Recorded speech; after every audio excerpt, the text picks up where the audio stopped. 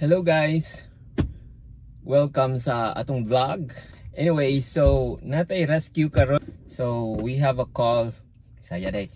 Natay tawag karon pag pa-rescue. Um, this time uh, for towing.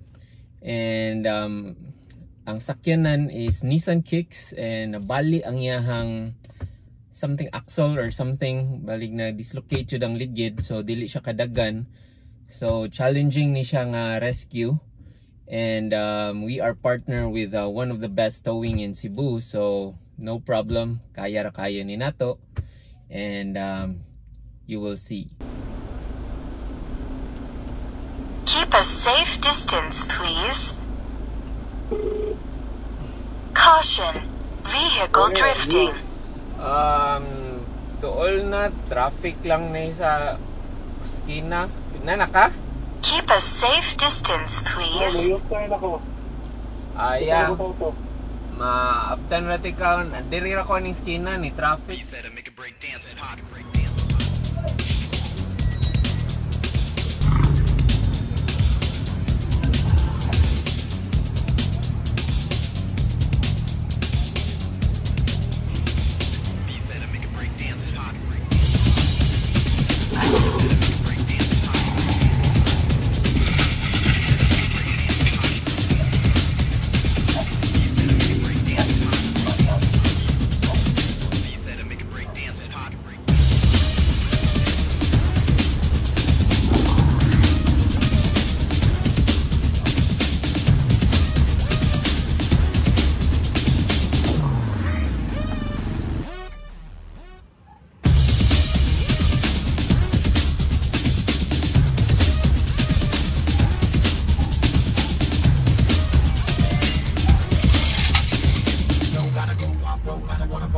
so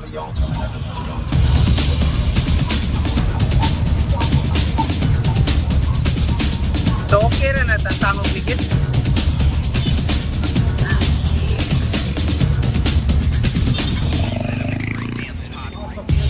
ha?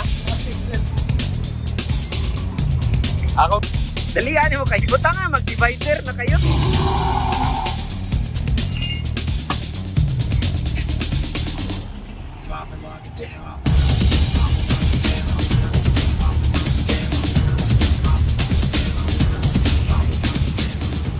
na bangga boss? Ah, sa U-turn. Ah. Nya na, na naabot pa siya dire. Ah.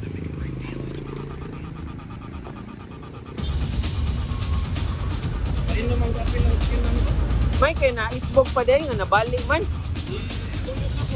Agi pagoyon. Ha? Ang truck? Um, Pwede ra pero among gi toyo boss para dili mi masikitag sakyanan ba delikado po damong trabaho gud. Dili eh, saka ni. Oh. Kaya nagtrabaho mi ba niya amo isikit. Masaghiran ni dire delikado. Oh. At least ba magpalayo gid sila namo.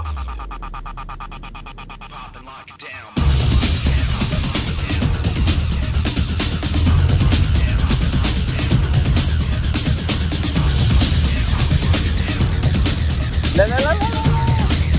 Siri.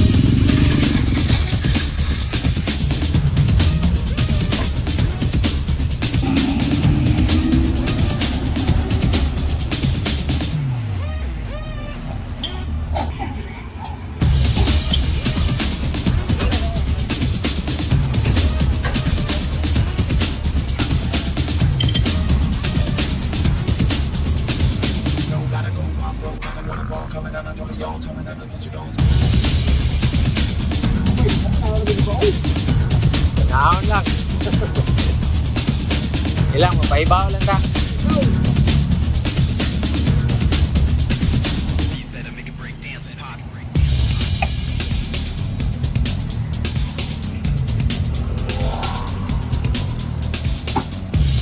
Don't work man. Yan lang ha. Wagi tayo mahimo. Tagak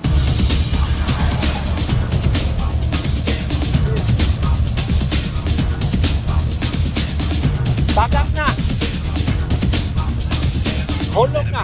Ahulog. Doon na mga tanda. Ah.